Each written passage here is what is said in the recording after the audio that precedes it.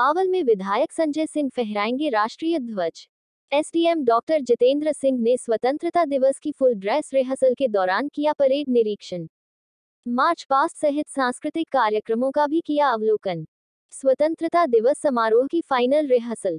मेरी माटी, मेरा देश अभियान के तहत आज़ादी अमृत महोत्सव के समापन को खास व यादगार बनाने के लिए मंगलवार 15 अगस्त को बावल में स्वतंत्रता दिवस समारोह का आयोजन भव्य व गरिमामयी ढंग से किया जाएगा। रविवार को उपमंडल बावल में एसडीएम बावल डा. जितेंद्र सिंह की अध्यक्षता में स्तरीय स्वतंत्रता दिवस समारोह के मद्देनजर प्रतिभागियों द्वारा सांस्कृतिक कार्यक्रमों सहित अन्य गतिविधियों की फुल ड्रेस रिहर्सल की गई।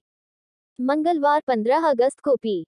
एम. श्री. राजकीय मॉडल संस्कृति वरिष्ठ माध्यमिक विद्यालय बावल में आयोजित होने वाले उपमंडल स्वतंत्रता दिवस समारोह में विधायक संजय सिंह बतौर मुख्य अतिथि राष्ट्रीय ध्वज फहराएँगे और परेड की सलामी लेंगे।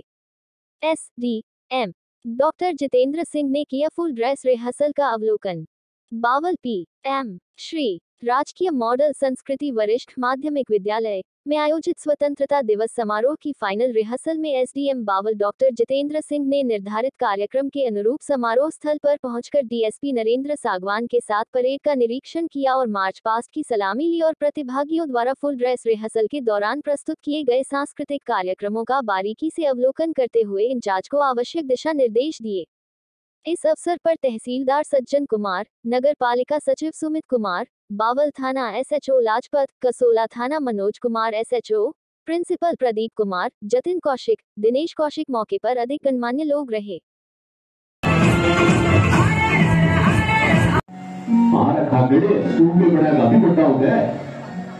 बाबू मैं तेरी की ढाल जमींदार बनूँगा जमींदार और तू बूढ़ा हो जाएगा इन खेता का और बैड़ा का। मैं ही तो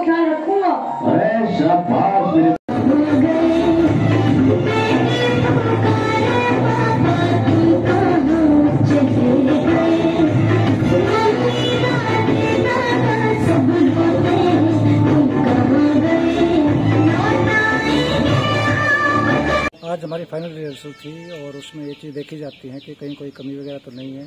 तो हम पहले से स्मारक पर गए, उसके बाद कल्चर प्रोग्राम देखा परेड और सलामी और राष्ट्रगान वगैरह।